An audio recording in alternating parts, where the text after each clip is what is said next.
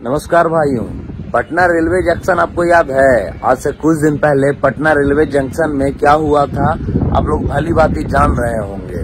जो खुले आम जिसपे एडवर्टाइजमेंट वाला चीज़ दिखाना चाहिए, जिस टीवी पे, उस टीवी पे चल जाता है पूर्ण वीडियो। उससे ही मिलता जुलता एक और न्यूज़ आ रही है, दिल्ली मेट्रो की। दरअसल पटना में ये टीवी पे चला था और दिल्ली मेट्रो में ये लोग लाइव देख लिए।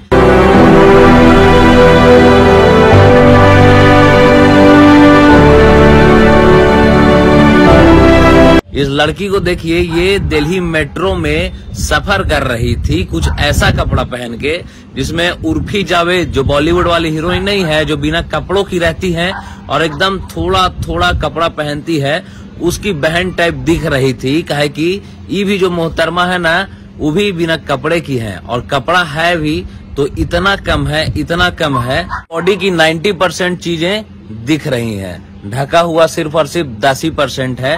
इसको देख लोगों का गुस्सा चौथे आसमान पे है, क्योंकि सोशल मीडिया पे देखने को मिल रहा है कि इस पे बयानबाजी हो रही है, और जहाँ भी न्यूज़ वाले इसके बारे में पूछाताछी कर रहे हैं, वहाँ लोग ऐसा भड़क जा रहे हैं कि हमारे माहौल को इस तरीके से बना दिया गया है। आजकल कोई भी कुछ भी पहन के आ जा रहा है, लेकिन जो हुआ, वो बिल्कुल आम बात नहीं है, क्योंकि एक लड़की जो निर्वस्त्र हो के मेट्रो पे सफ़र करने आई और उसको लोग देख के जो अपने परिवार के साथ आए हो, उनको बताइए कैसा फील होगा इतना छोटा छोटा कपड़ा देख के। गुस्सा का वजह यही है। लेकिन ये सब चीज़ हमारे समाज को कितना गंदा और दूषित बनाता है, ये कभी सोच के देखिएगा। किसी एक के ऐसे पहनावे से हमारे समाज में उस चीज़ का कितना असर पड़ेगा, ये कभी देखिएगा आने वाले दिनों में। क्योंकि एक को देख के लोग फ्री हो जाएँगे और कुछ नहीं जिसको बोला जाएगा फ्री होके वो और इस चीज़ों को करना चाहेंगे। तो इन सब चीज़ों को देख के भी लोगों का गुस्सा चौथे आसमान पे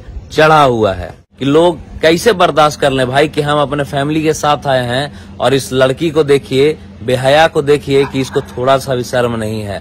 हम भी मानते हैं कि हमारा इंडिया बहुत मॉडर्न हो गया है, लेकिन इतना भी मॉडर्न नहीं होना चाहिए जिसमें कपड़े का कोई लिहाज ही नहीं हो कि आखिर कहाँ तक पहनना चाहिए और कहाँ तक नहीं पहनना चाहिए। बाकी, ये वीडियो देख के ये मत समझिएगा कि ब्लर में दिखाया जा रहा है तो कुछ है ही नहीं। अगर आपको देखना है तो दिल्ली मेट्रो वायरल वीडियो ऐसे करके यूट्यूब पे डालिएगा तो आपके सामने बिना ब्लर का वीडियो आ जाएगा। आप बिल्कुल जाके यूट्यूब पे भी चेक कर सकते हैं। बाकी, नमस्कार, प्रणाम, जय मगध, जय बिहार।